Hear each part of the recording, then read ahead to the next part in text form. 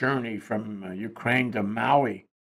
Okay, and uh, we are joined by two Ukrainians, uh, Vladlena Bugay and Igor Chopa, her father. They are in Maui, and we can talk to them here on Global Connections. I'm Jay Fidell. This is Think Tech. I'm so happy to be able to talk to them. Hi, Vlada. Thank you for coming on the show. Uh, hi, Jay. And would you say the same to your dad, Igor? Thank you for coming on the show. Tell him that and see what he says to you. Uh, Джей благодарит нас за то, что мы на этом шоу. Мы сейчас уже вошли в эфир. Спасибо. Спасибо взаимно. Uh, thank you. Thank you too. So, uh, Vlada, tell us how you got and when you got and how your father got and when he got to Maui. Um, me, my mom, my mother, and my daughter, we arrived in Maui uh, at the end of January, and we arrived here as a tour as a tourist. We were we had an intention to stay here for about five or six weeks. Uh, that's what we usually do when we visit um, the United States and our fam- friends here. Um, my husband and my father they arrived uh, later. They their flight out of Ukraine was supposed to be February 24th, which is the first day of war in Ukraine. Uh, they their plan initial was to stay here in Maui for two weeks, and then all all five of us, or our family, was supposed to go back to Ukraine at the beginning of March. Hmm, I'm glad you didn't go back. Would have been a hassle. Um, so now, can can you ask your dad what happened between the time you left Mykolaiv and the time he left Mykolaiv? What was happening in Ukraine? What was his experience there like in that period? Папа, расскажи, пожалуйста, пару слов по поводу того, что было в Украине и в Николаеве в период с тех пор, как мы уехали в конце января, до того момента, как э, ты уехал в конце февраля оттуда. То есть, что было в течение февраля до начала войны? Ну, в течение февраля до начала войны никаких особо происшествий не было. Не было, понятно, г- готова ли будет э, Россия вести военные действия или нет. Вот. Показывали новости о том, что Россия поддерживает ЛНР и ДНР. В основном на это шли. Шли очень много новостей по поводу учений. During during that period uh, in Ukraine, uh, there were some news, but there were no specific news about uh, the invasion. There were a lot of news about um, trainings uh, that the Russia claimed is to be as trainings uh, all around the Ukrainian border, and also uh, that they are planning to support the uh, DNR and LNR, which is the Donetsk. Um, National Republic and Lugansk uh, National Republic, which is on the far east of Ukraine. Uh, most of the news uh, in Ukraine were concentrated on just these two uh, topics. So you guys were in Ukraine in, in the 2013, 2014 revolution. Uh, you were in Mykolaiv uh, rather than Kiev, but can you describe what happened in that period of time? What happened to you and what did you hear was happening in Kiev? А, Мы были здесь в Украине в 2013-2014 году во время революции, да, и мы были в Николаеве, а не в Киеве, но тем не менее, что происходило в Украине или в нашем городе в тот период времени? происходили разные э, со- собрания людей, которые а- одни собирались за революцию 13-14 года, э, другие против. Как бы очень много ну, в тот период было э, захват Крыма же, вот, и очень многие люди выступали за возвращение Крыма Украине. Вот, э, так как мы близко находимся к Херсонской, Херсонской Крым области, то у нас в основном события были связаны с захватом Крыма. Вот. А также э, нехорошими действиями, скажем так, на Луганской и Донецкой, в Луганской и Донецкой областях.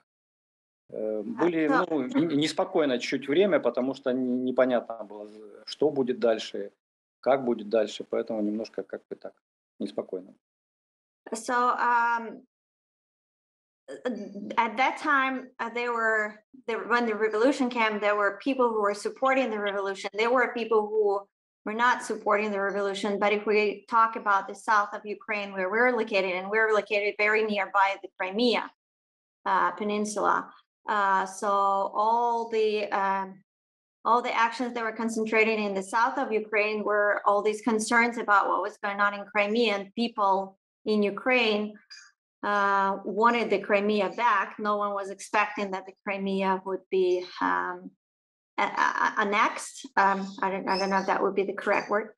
Uh, and um, so everyone was very concerned, and a lot of people didn't know uh, what will happen next during the revolution. No one knew uh, what will be if it's gonna be uh, if it will be calm or worse, what will be happening right after the revolution. So, um, what did your father, what did you and your father think about the Russians, uh, based on what happened in Crimea, based on some of their other adventures, um, you know, in in uh, Syria and the like, um, and, and with Chechnya as well? Were you aware of that? What did you think of the Russians? Of, of the Russian army, you mean? Of of, Alec, of Vladimir Putin um, and the Russians?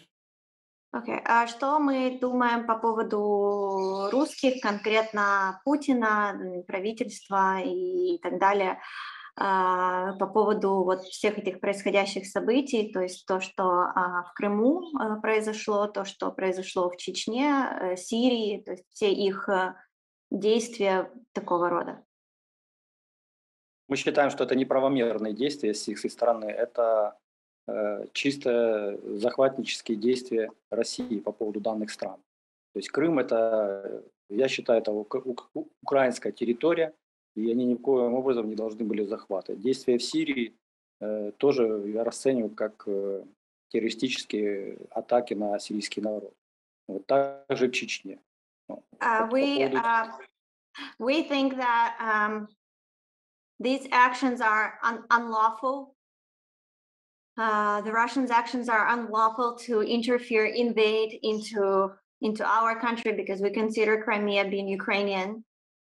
Uh, also, uh, we did know, of course, we followed the news about um, the actions in Syria and in uh, Chechnya, and then actually some other countries too.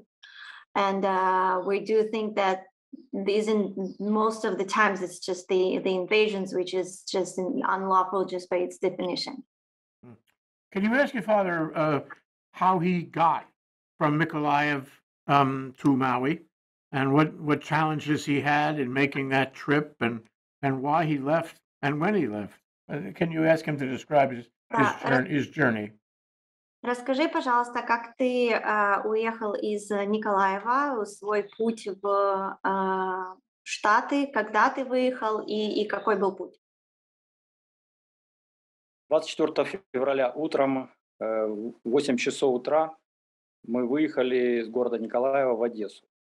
В это время уже мы знали о том, что у- города Украины были подвержены э, атакам э, вооруженных сил России. Ты будешь переводить или мне все рассказывать? Uh, so um, on the 24th of February, uh, at about 8, 8 a.m., he was already heading from Mykolaiv city to Odessa International Airport. And at this moment, already we got the information that uh, the invasion into our country uh, has started, and that some of the uh, cities of Ukraine uh, were um, uh, attacked. Uh, had had missile attacks uh, from from the Russia side. Продолжай. Э, Когда мы ехали, когда мы ехали в Одессу, мы уже по радио в машине услышали о том, что аэропорт в Одессе закрыт. Небо закрыто, так как э, его тоже атаковали э, российские войска, и другие аэро- аэропорты Украины были атакованы российскими войсками. Поэтому было принято решение ехать на границу с Молдавией и уже с Молдавии, с Кишинева вылетать в Турцию, а затем в США. Uh, so by the time they got to the airport, to Odessa International Airport, uh, we all got the information that all of the airports of Ukraine uh, were uh, blocked and uh, they were closed. Uh, and that the, the sky over Ukraine was closed for the passenger um, mm, airplanes.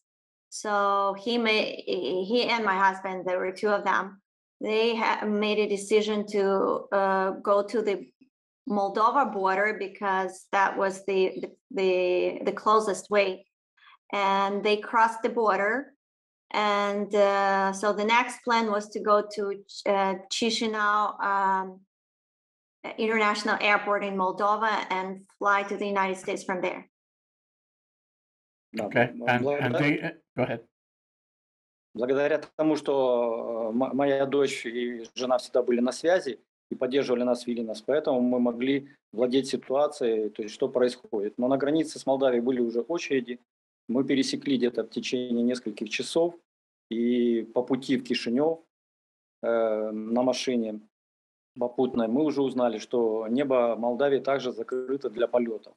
Вот, и было принято решение ехать на сам Кишинев, центр города, для того, чтобы искать пути пересечения э, на транспорте границы, ну, в частности, в Румынию, а уже с Румынии дальше двигаться.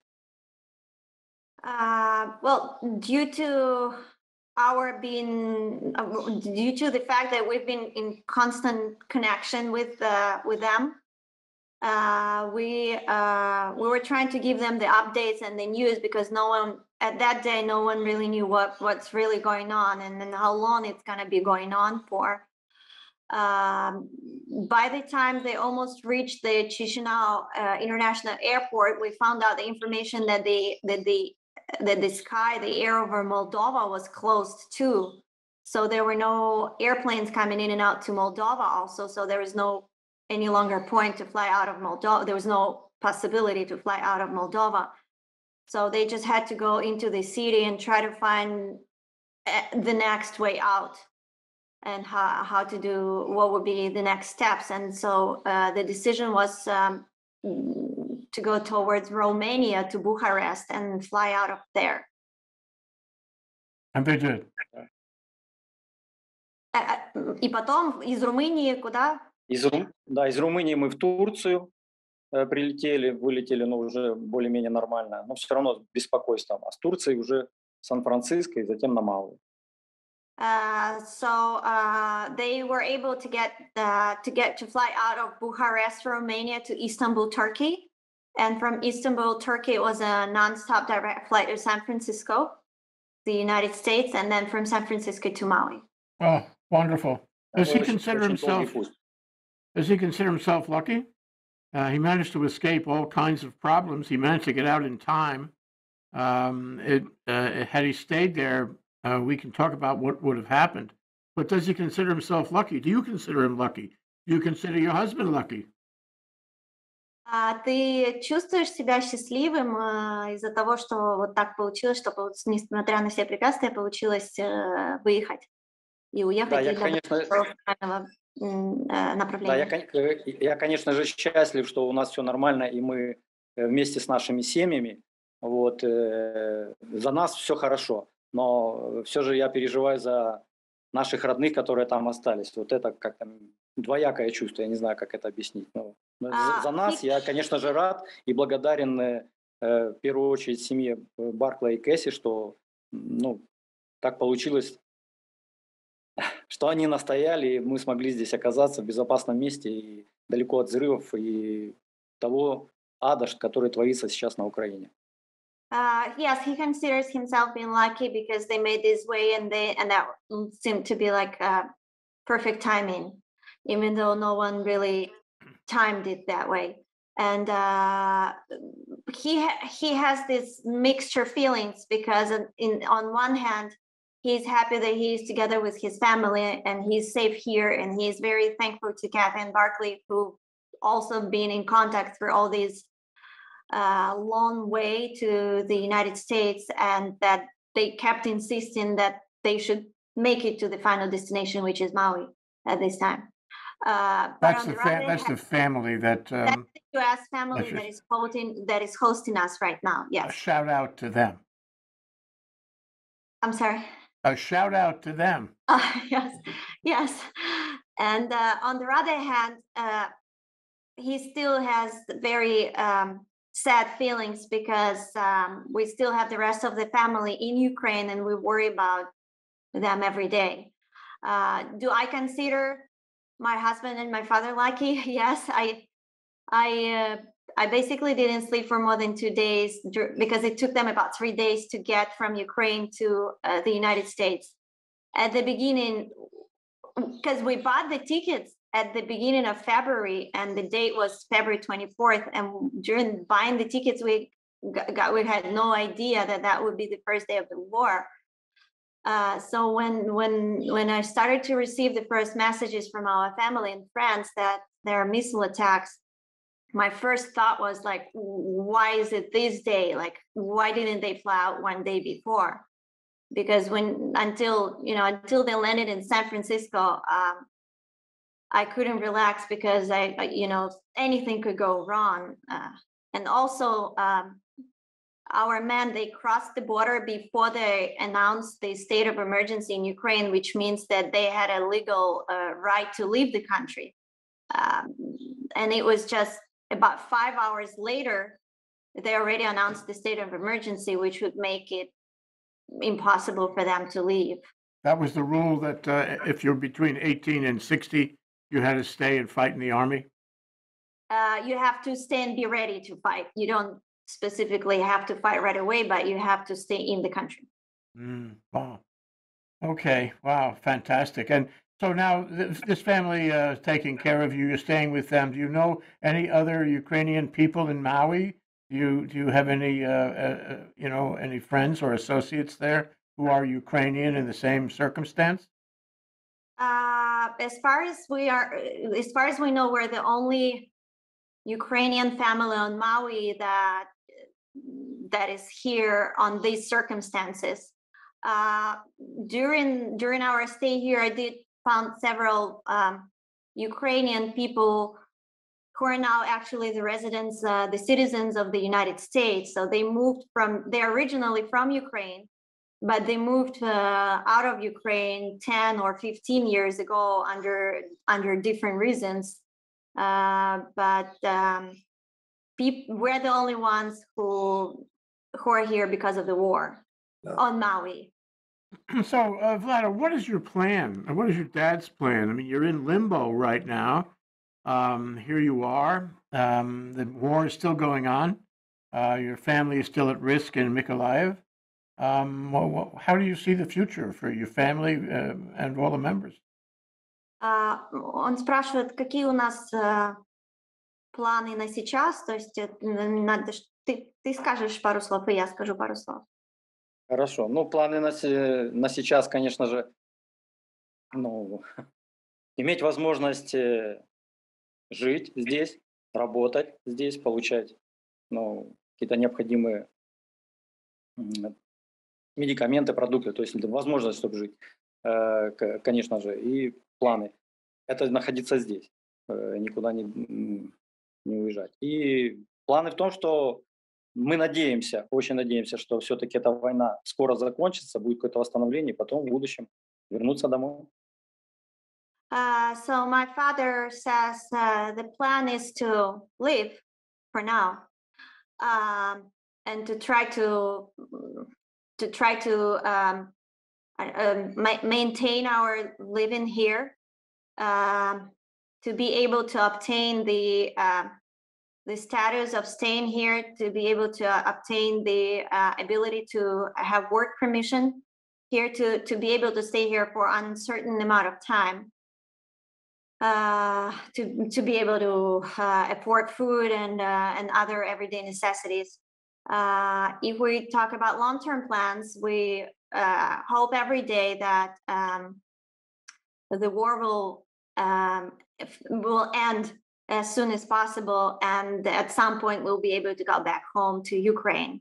Mhm. And I can add uh, from that that um, for the first month after the invasion, frankly speaking, it was even difficult to plan the next day. We it's like you can't you can plan your life when it just I don't know ended in one day um, because because literally because of the war it just it it um, divided into before and after.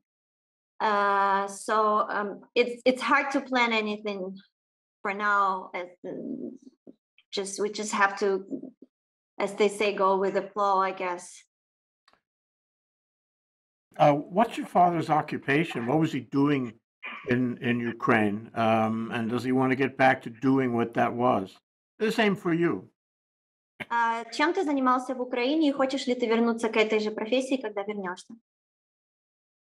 Э, В последнее время в Украине я, заним- я работал э, по ремонту автомобилей, по подбору запчастей для ремонта автомобилей различных марок. Вот, э, наверное, да. Э, Я очень долго этим занимался и, возможно, хотел бы вернуться тоже к этой работе после того, как вернуться в Украину. Да. Uh, in Ukraine, uh, he was uh, working in a um, automobile repairment shop. That and he was managing um, ordering the parts for different different um, types and categories of vehicles. Uh, and uh, yeah, he'd been doing it for a long time. For many years, he'd been um, involved with the car repairment, and he would like to continue doing the same when he comes back. Uh, Tell as him, for tell him me, he looks young. uh, ты выглядишь uh, молодо. Спасибо. Спасибо. Thank you. Thank you. Uh, as for me, I um, I worked I worked as a travel agent. I had uh, my own travel agency in Mykolaiv.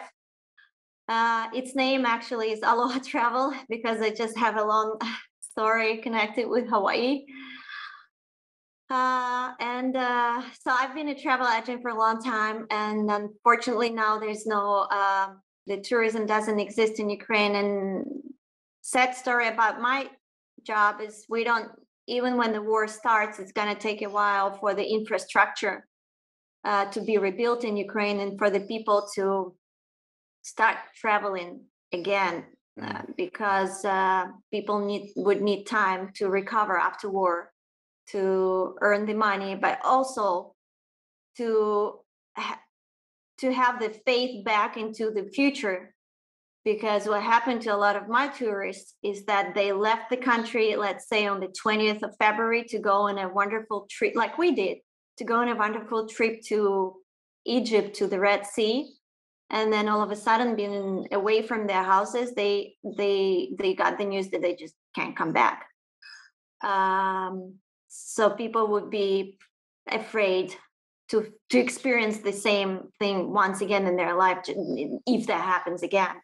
And same with us we we left the country with just one one suitcase of uh, of um, of of clothes of, of things that we took with us each uh, with pure mm, mm, mm, believing that we're going to go back home and continue our lives uh, there to con- con- continue what we've been doing there back in Ukraine, and then just being away from our country, all of a sudden we realized that at this moment we just can't go back.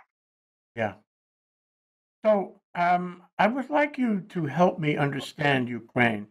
By the way, my family, uh, my family lived in uh, Podolia, Podolsk in Ukraine. Uh, Really? Oh, really? Oh, wow.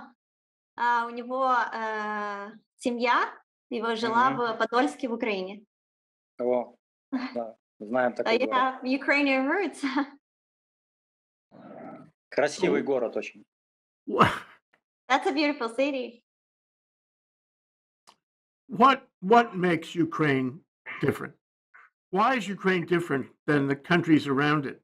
What makes Ukraine special for the people, the history, the industry, the, the quality of life, the people, especially the people?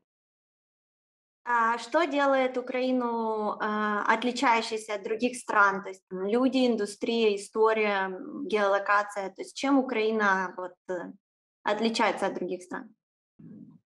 Ну, в первую очередь, я считаю, что Украина отличается тем, что она всегда боролась за свою независимость очень долгое время. Всегда она пытались на ее землю кто-то претендовать. И поэтому ну, одно из хороших качеств, я считаю, то, что это умение бороться за свою землю. Это ни в коем случае не посягательство на другие земли. Вот. э, Это терпение, это единение. Это очень красивый язык, я считаю. И это то, что сейчас показала э, нынешняя война, что э, украинский народ очень дружный, очень сильный и очень-очень любит свою родину, землю. Uh, well, the the outstanding uh, thing about Ukraine is that historically we've been um, fighting for our independence a lot of times. That's not the first time today, and um, and it's the people who like freedom. It's the people who fight for freedom, and and what's we fight on our land. That's a big difference. We don't try to get a piece of someone's land. We just want to keep our land safe and protect it. And that makes people, um, what's good now about our people in Ukraine is that we're all united in our goals and dreams. And uh, it's also a beautiful country and beautiful language. uh, people in Ukraine are outstanding by by by our love to for freedom and I can add to that is um, I didn't. Um, it, it- it's not my words, but I think they really reflect it really good right now. Is they say if you want to know, um, the the bravery has two colors now. It's blue and yellow, and um, and and that's that's right. That the Ukrainian people um, we are very um, we can have some you know arguments within within the country like every country does we can have some problems we can like or not like uh, some things around the world or inside of our country but all of us are very um, uh, very ready to fight for our land and uh, all of us are very united in terms of um, liking um, freedom and and liking just to live in peace What, what about um, uh, Volodymyr uh, Zelensky? Uh, has he been doing a good job? Ask your dad. Has he been doing a good job? Uh, is he uh, as courageous as it seems? Is he a, a good leader for the Ukrainian people now? А, Как насчет Владимира Зеленского? Он э, свою работу сейчас хорошо выполняет? Он хороший лидер для людей сейчас? Да, я считаю, да, потому что, э, во-первых, он э, остался в стране, не сбежал и всегда выступает каждый день в поддержку всего населения, и, которые, и военных, которые воюют, и гражданских людей, которые остаются. Он старается каждый день, как мне кажется, делать все возможное для того, чтобы прекратилась эта война, и Украина смогла вернуться к мирном, мирной жизни. И что больше всего также мне нравится, что Зеленский э, Владимир Зеленский, наш президент, не идет э, на то, чтобы разделить Украину и э, оставить ее по кусочкам для того, чтобы, ну, может быть, какие-то блага иметь. То есть он стремится, чтобы Украина осталась единой. Украина Yes, he, yes, he supports, uh, my father supports, me too. So I can sign under his words. Um, uh, our president, Volodymyr Zelensky at this moment, because he is, first of all, he's in the country. He didn't escape. Uh, second is that every day he's doing a tremendous job to um, draw attention to what's going on, to also uh, he puts a lot of efforts to um, keep people in, in the country and Ukrainians all over the world still united. Uh, he is really doing a lot of, uh, he's doing as much as he can right now. And he really keeps our people united. He's not trying to divide our country into pieces, which is easily to do right now in his own benefit. That could probably be an easier path but he chose a, a more difficult path, which is good for the for people. Mm. So, um, you know, one thing is that um, he's uh, he's facing some very difficult times. Um, uh, has been essentially destroyed. with war crimes and uh, sophisticated weapons that are um, designed to kill civilians, not even really military, um, and um, and other cities, um, Bucha, for example, have been the subjects of war crimes and all that, and now the Russians have put a new and very brutal general in charge, and he's using even more sophisticated weapons and landmines, and um, you know, just completely demolishing uh, the cities that they attack. And I, I wonder how you know you feel about that. Is this is not war uh, in the ordinary sense? This is war against the people of Ukraine, uh, and that's that's not ordinary war. Um, and I just wonder what your reaction is, and also whether you think um, that Ukraine will survive in your heart. Do you think that Ukraine will survive? А, м, э, Он наблюдает за тем, что происходит в Украине, и что ам, российские войска, генералы, они используют э, разного рода извращенные эм, оружие, виды оружия против э, украинских городов. Э, Буча один из ярких примеров. Э, В Николаеве тоже есть разрушение уже на данный момент. И он говорит, что это уже не похоже на войну в своем каком-то таком стандартном понимании. Это уже больше как война против народа. Э, Считаем ли мы точно так же и какие наши ощущения по этому поводу? А самое главное, а, считаем ли мы Украина выстоит? Да, война уже выходит за рамки принятого как бы в нынешнее время э, понимания этого слова. Используются запрещенные виды вооружения, которые направлены на, на то, чтобы погибало как можно больше людей, а не разрушение военной ин- инфраструктуры. Сейчас э, идет обстрел и ракетами стреляют, и артиллерия именно по жилым э, комплексам городов, где погибают, где э, очень большая вероятность гибели э, большого количества украинцев. Вот, Вот, э, э, я считаю, я считаю, что мы победим. Нам помогут. То есть самим нам, конечно, тяжело будет выстоять, но я все же, все же очень-очень верю и надеюсь на то, что Украина победит данной войне. Почему? А Потому что еще мы справедливо воюем, а уже в российской армии они употребляют эти неплохие э, способы ведения войны, скажем так, именно из-за того, что они не могут э, ну, достичь своей цели быстро, захватить. Вот они пытаются теперь уничтожить просто народ и города. Yes, uh, the the war itself it it it's gone beyond its ordinary uh, standards. If if the war has standards, then this war is beyond the standards. That's for sure. And they are using um, all different kinds of weapons, and also um, that's truly you're right that it's truly is against uh, the people now because as they said at the beginning that they're going to just uh, attack the uh, military uh, uh, objects uh, the military bases the military storages well that's not true because uh, it's been a long time now already when they been attacking the civilian parts of the cities and the the, the just the common people um, are suffering and dying from that. And so that that is definitely is beyond it's uh, beyond just having war between the countries. It's the war against uh, the people. But we do uh, believe that Ukraine will uh, stand, and then Ukraine will survive. And and it's there is an easy explanation for that.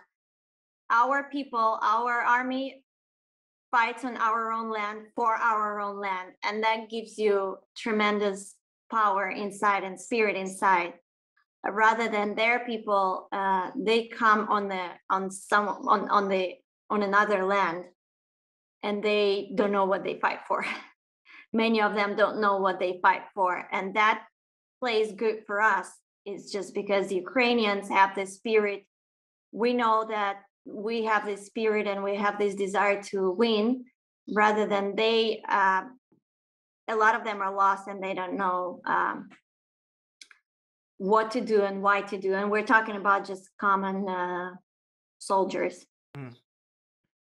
One last uh, question, Vlada, and that is this. You know, Volodymyr uh, Zelensky has repeated a number of times that he wants more weapons, more support uh, from the uh, EU, from NATO, from the US, from the coalition. Um, and uh, of course, um, the, the NATO and the EU and the US, uh, the coalition, has provided a certain amount of support. Um, but if you asked Vladimir uh, Zelensky right now, he would say it's not enough. We need more. Um, what are your thoughts about that? Has the West provided sufficient support to help you? Um, and if not, uh, what would you say to, to President Biden about it? А, м, Получается, э, Владимир Зеленский говорит о том, что нам нужно в Украину больше э, оружия. А, В принципе, мир э, поставляет э, оружие в Украину, но по словам Зеленского на данный момент этого недостаточно. А, Какое наше мнение по этому поводу? Достаточно ли или недостаточно? Надо ли больше? И какое могло бы быть сообщение, как бы какие могли, что мы могли бы по этому поводу сказать президенту Байдену, э, который президент Соединенных Штатов Америки? Ну, честно говоря, мы находимся здесь, и тяжело говорить, что там э, происходит. Но по сообщениям, по новостям поставляется оружие, я вижу, но не знаю. Опять же, по новостям, в моем понимании, э, хотелось бы, чтобы те ракеты, которые летят в мирные города, чтобы у наших военных были э, всегда возможности сбить эти ракеты. Пока средств противовоздушной обороны, ну, как, как я вижу, мало, так как ракеты долетают до городов и бомбят э, ну, гражданские дома и все остальное. Поэтому It's uh, ну, вот так. well, we are we are here, and it's it's pretty difficult to give an expert evaluation about this question, frankly speaking. And um, what we what we can get in information from the news, just like everyone else, and from the news, it seems like yes, there there are there is a tremendous help from all over the world. at the same time, from the same news, we can tell that um, it seems like Ukraine needs more. And when we say more, I mean um, Ukraine needs more of these um, weapons that uh, can destroy the the uh, the miss the missile attacks, if I say it correct, Mhm. uh, to, to to destroy them in the air, so the missile attacks doesn't actually reach the land. Seems like Ukraine needs more of those, uh, but again, it's it's it's it's pretty difficult to um, to give a proper evaluation on that. Я считаю, что нужно больше самолетов, чтобы закрыть небо э, Украины и иметь возможность защищать, э, атаковать э, ну, на нашей земле российские войска для того, чтобы они не стреляли по нашим городам. Uh, my father thinks that я считаю, это мое личное мнение.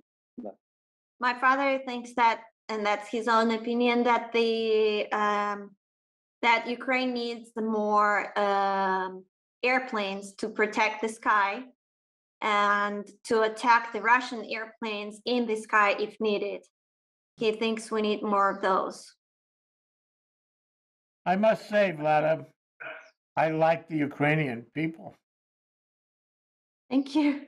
Он должен нам Thank- сказать, что ему нравятся украинские люди. Спасибо. And I think, I think that if uh, your, your father Igor took off his glasses, he'd look a lot like Zelensky. И ему кажется, что ты сквозь очки выглядишь немножко как Зеленский.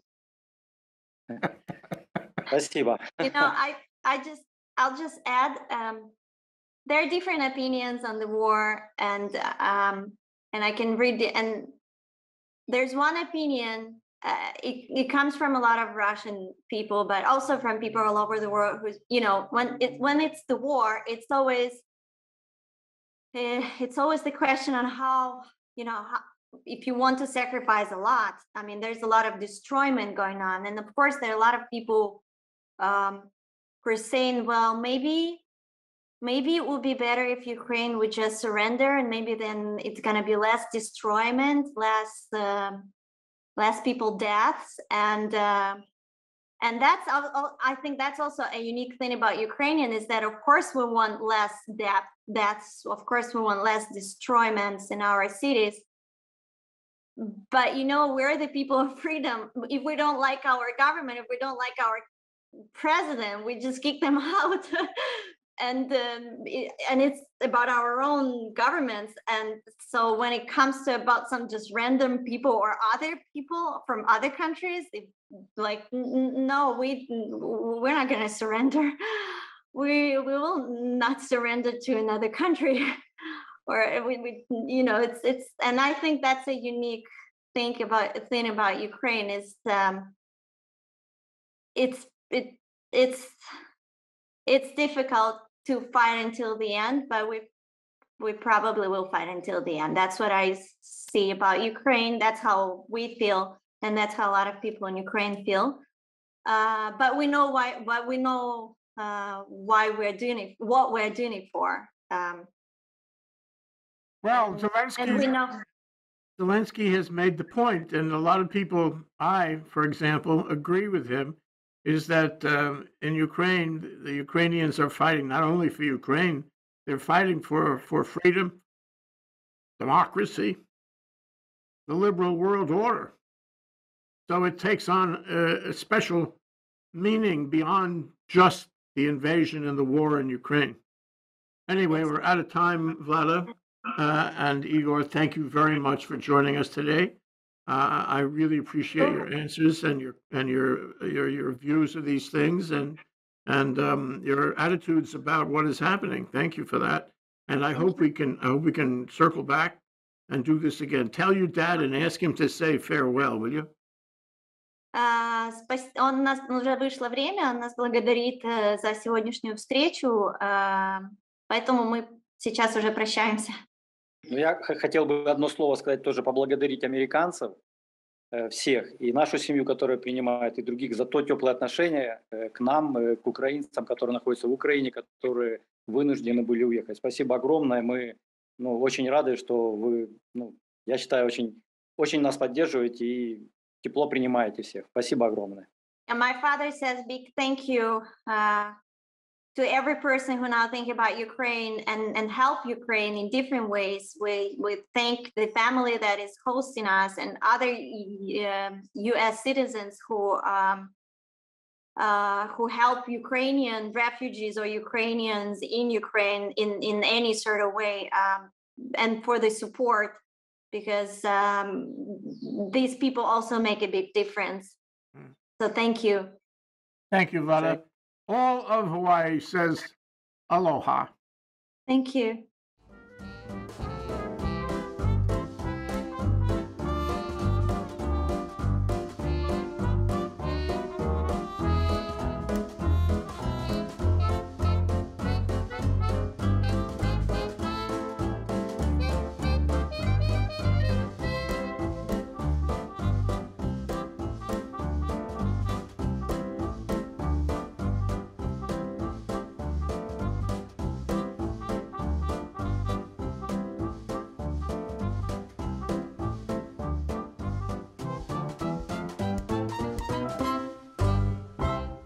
Thank you so much for watching Think Tech Hawaii. If you like what we do, please like us and click the subscribe button on YouTube and the follow button on Vimeo. You can also follow us on Facebook, Instagram, Twitter, and LinkedIn, and donate to us at thinktechhawaii.com. Mahalo.